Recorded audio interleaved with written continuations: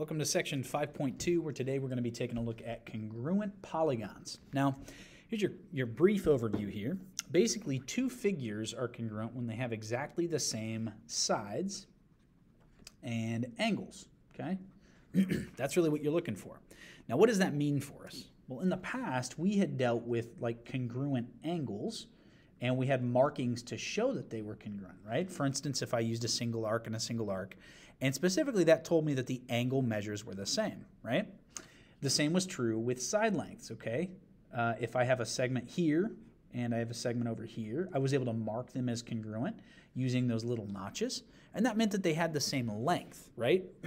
so if they have the same side lengths and they have the same angle measures, then the two figures, perhaps even polygons, can be congruent, okay, or are congruent. So when two figures are congruent, the sides and angles are also congruent, but specifically what we call corresponding. Corresponding sides and angles are also congruent. so the key up above was that the side lengths were the same and the angle measures were the same, right? And this just adds that they have to match in the same way, okay? So if I've got corresponding sides, for instance, we've got ABC and PQR down below, we want to just go ahead and list what those are by matching their positions, okay? So if I see uh, segment AB here and it's got a single notch, and I see PQ there and it has a single notch, that's not necessarily enough to say that they're corresponding, okay? Let's check what they're between also, okay? You'll notice that uh, segment AB is between B, which has a single arc, and A, which has a double arc. The same is true of PQ. PQ is between Q, which has a single arc, and P, which has a double arc. So now I can say their corresponding sides, okay? AB and PQ, okay? And we're going to double check the others as well. Okay, so BC here has a double notch. QR also has a double notch. And each one is between a single arc and a triple arc. So that means that yes, they're corresponding, BC and QR. The last one to check, AC has three notches. PR has three notches, so they're congruent, but are they corresponding? It's between a double arc and a triple. This is between a double arc and a triple. So yes, AC and PR. Okay? I don't know why I put two. PR. There we go. So, so far, all of our sides have corresponded. Okay? Now, we could check angles in the same way. Okay? I will say if you do one, you don't necessarily have to do the other. They're bound to match up, especially with uh, like triangles. You're, you're, you're not to have an issue. Um, but it wouldn't be a bad idea this first time just to double check that. So let's look at our single arc here, B, and here Q, those are each between a single notch and a double notch, right? So angle B and angle Q would be said to be corresponding, okay? Let's check our double. Double arc at A and at P between a single and a triple, a single and a triple. So once again, A and P are corresponding. Finally, angle C and angle R, they each have three arcs between a double and a triple notch, double and a triple notch. So once again, they are corresponding. Okay? Now, what does that mean? If all sides correspond and all angles are corresponding and they're congruent, then automatically we can say that the polygons are congruent. Okay? So therefore, that's what this symbol means. Therefore, the polygons are congruent. Those triangles would be said to be congruent, okay? Now, likewise, the converse is true, okay? Corresponding parts of congruent triangles, if I already told you congruent triangles existed and they had matching parts then, they would also be congruent, okay?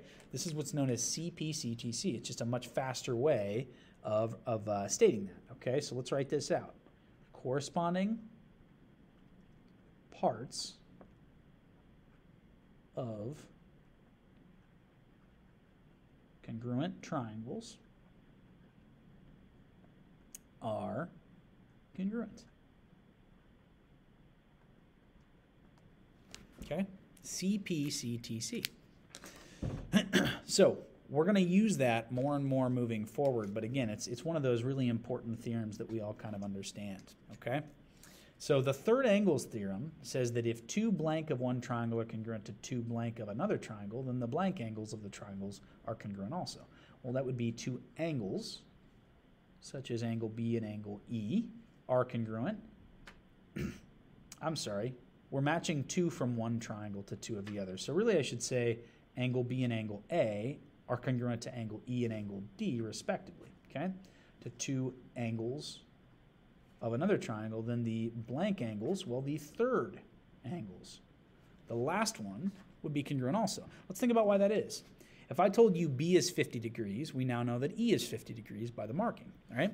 If I told you that A is 100 degrees, then D would have to be 100 degrees. And together, that's 150 and 150. You've only got 30 degrees left by our triangle sum theorem here and here. So again, hopefully it makes sense how more or less by the process of elimination, you've used up the same number of degrees out of your 180, and therefore their last angle would have to match also. So in this one, we would say therefore, comma, angle C is congruent to angle F because we already had two that were congruent. Pretty basic if you think about it. All right, now let's get some practice with uh, corresponding pieces, okay? Number one says to name all corresponding sides and angles. And this is a prime example of CPCTC. They're telling us triangle ABC is congruent to triangle DEF, and therefore corresponding parts are congruent, okay, within those two congruent triangles. Corresponding parts are congruent. There is a matching game more or less being played here, okay? You just have to understand how to read it. Now this is, this is known as a congruence statement, but they're really helpful if you start to just number the vertices, okay? Those points of intersections of your sides where the angles are located. Angle A, angle B, angle C, angle D, angle E, angle F, okay? So if I want my corresponding sides and angles, this is telling me the order that that's going to happen. For instance, first of all, we see that they don't share any vertices. So I can actually name the angles using just a single letter. I would say that angle A corresponds to angle D, right? Same position. They're the first letter. Angle B corresponds to angle E, same position. Angle C corresponds to angle F, same position. Now, that's not all. As we know, triangles have three angles, but they also have three sides, okay? So the three sides would be segment AB, and that would correspond to DE, 1, 2, 1, 2, right? Next up, BC would correspond to EF. Hopefully you're seeing why I said this is like a matching game. It's, it's pretty simple once you break it down. And then finally, C back to A and F back to D. Those are your corresponding angles and corresponding sides, three of each. Okay? Let's take a look at number two then. So number two says we've got triangle IJH, we've got triangle LJK. This makes it a little bit tricky because they actually share a vertex, even though the angles are clearly not the same, right? So let's go ahead and break this down by their corresponding parts, okay? Corresponding parts. First of all, congruent, uh, you know, you know what? Let's call them corresponding. I need to be careful there. Corresponding uh, side lengths. Let's start with those. So in this left triangle, we've got HJ that has a single notch, and of course in the right triangle we've got JK, right? Really, I'm going to call it KJ though, just so that I'm matching those in the same way. These angles match up; those angles would be vertical, so they would match up. So I'm going to say HJ and KJ are corresponding sides. Next up, let's look for two notches. I want to see that here. I saw that over there. That's IH and LK. What makes this one tricky is they both share the same markings on either end. So we don't actually know just by looking which way the, the letters should match up, okay? So what you can do from there, since I was adjacent to the triple, L was adjacent to my triple, that's how I knew to match I and L. Since H was adjacent to my single, K was adjacent to my single, that's how I matched H and K, okay? And the last one, my triple notches would be I, J, and LJ. So we got our corresponding sides taken care of. Let's now match our corresponding angles, okay? So Like I said earlier, it gets a little bit tricky because some of these are allowed to be congruent to more than one in the other triangle. So if I'm going to say angle H, that's between my single and double notch. Well, between my single and double notch here would be K. So angle K would match it, right? They're corresponding. Angle I is between a double and a triple, which is going to match angle L, angle I, angle L. And finally, this one, I can't call it angle J and angle J because there's actually lots of angles at J. So let's be careful. We'll call it IJH, angle IJH.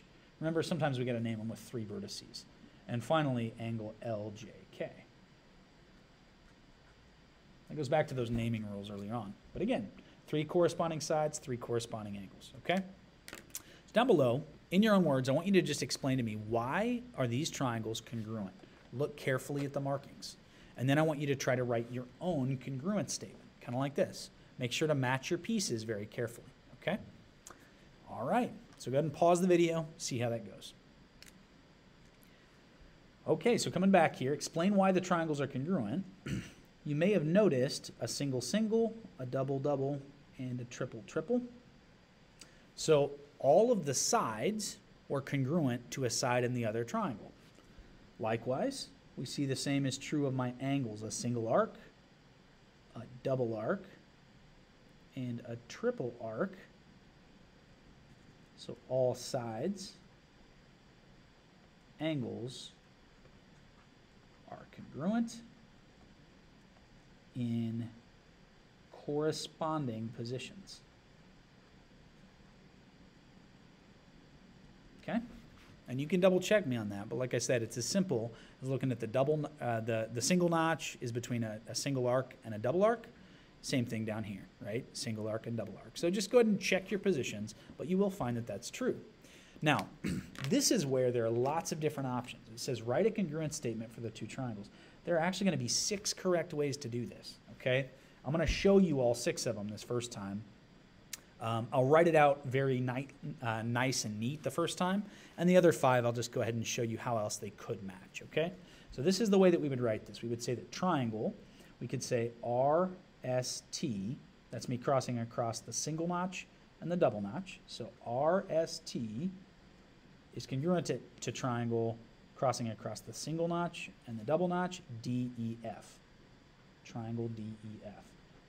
Now, this is what I'm expecting to see, but like I said, there are lots of ways you could have done this. For instance, I could have said TSR and FED.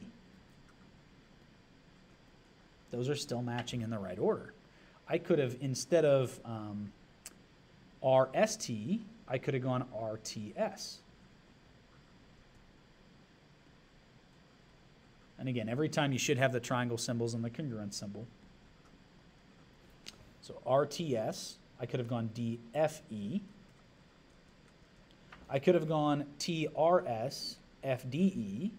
And finally, I could have done SRT, EGF, or STR, EFD. So like I said, there are a total of six of these, okay? I guess I'm not going to write them all out. It gets pretty tedious after a while, but you have to make sure that you understand how to match them in a way that is true. Any one of those six will work out for you. But while there are six correct ways to do this, there are far more incorrect ways to do this. So just be really cautious there, okay? All right, and we're going to wrap it up with a few practice problems here, okay? Up at the top, it says in the diagram, NPLM is congruent to EFGH. Now, this is telling you the exact order that they match, so be really cautious here, okay? And we're asked to find the values of x and y. So let's go ahead and look, at, look for those. I see x here on segment GH, okay? Let's see what that's congruent to using our congruent statement. GH are the last two letters. That's congruent to LM, the last two letters. So don't just eyeball this. Make sure you're checking your congruent statement. So therefore, I could say 2x minus 3 meters is equal to 8 meters. 2x minus 3 equals 8. Add the 3. 2x equals 11. And don't freak out if you get a decimal. There's nothing wrong with decimal values. We divide by 2 to get x equals 5.5. Okay? Let's go ahead and solve for y now. So where is y? Well, y is this angle here at point E, right? And we know that E, the first letter, will match in the first letter. So that is congruent to 72 degrees. So I say 72 is equal to 7y plus 9. We subtract the 9 over to get 63 equals 7y, and divide by 7 to get 9 equals y. Okay? So hopefully the process is making sense. As long as you're following along your congruence statement, you're going to be fine. Okay? Next up, find the value of x. Identify the theorem, postulate, corollary you are using to find x. Okay? So you go ahead and try this one on your own. I would recommend you reference the front page. Pause the video, see how it goes. All right, so on the front page, I hope you guys came across the third angles theorem, right? It basically says that if two angles of two triangles are congruent, single notch, I'm sorry, single arc, double arc, then the third angle is congruent also. So I could set 2x plus 30 equal to whatever this is. And we can calculate that. Because if that's 55 and this is 65, they add up to 120. 180 minus 120 leaves me with 60 degrees. So 2x plus 30 equals 60, my third angle, right? Subtract the 30 to get 2x equals 30, and divide to get x equals 15, okay? So we solved for x, identify the theorem postulate corollary. We would say the third angles theorem. All right. Finally, identify any figures that can be proven congruent. If so, write a congruent statement. So let's carefully look these over. Got a single notch, single notch, a double, a double, and they share this one. I can actually use the reflexive property to say BD is congruent to itself and put a triple notch on it, okay? Likewise, I see a single arc, a single arc between my 1 and 3. I see a double arc, a double arc between my 2 and 3, okay? It's where they meet. And finally, I see a triple arc, triple arc between my 1 and 2. So yeah, everything matches and everything corresponds. So let's write a congruent statement now. Um, a lot of times I will try to try to begin uh, using either simply using the angles or the sides to compare the two, okay? So if I look at triangle ABD here, I think I'll probably start at B because it has a single arc. I'll go to D because it has a double arc. And finally, I'll do A because it has a triple. So that's BDA. Triangle BDA is then congruent to triangle Single would be D, double is B, triple is C. So that's going to be D, B, C. That's just one example of your six correct congruent statements. Okay? Let's try the next one on your own. Pause the video, see how it goes. All right. And once again, a 1 1, a 2 2, 3 3. Things looking good so far, right? Let's double check positioning now. One is between a single and double arc. One is between a single and a double arc. Two is between a double arc and an unknown. Two is between a double arc and an unknown. But I can put a triple arc here and here by vertical angles. Those would have to be congruent. So now it's between a 2 and a 3, and my triple notch is between a 1 and a 3. So yes, everything matches up, and we're going to write our congruent statement. Triangle F G, H, single, double, triple, is congruent to triangle, single, double, triple. That would be J, K, H. Make sure you're using your symbols, triangles and congruents. All right, that'll sum it up for us. Okay, if you guys have any questions, please email or shoot me a message. Good luck on your assignment found on Big Ideas. I'll see ya.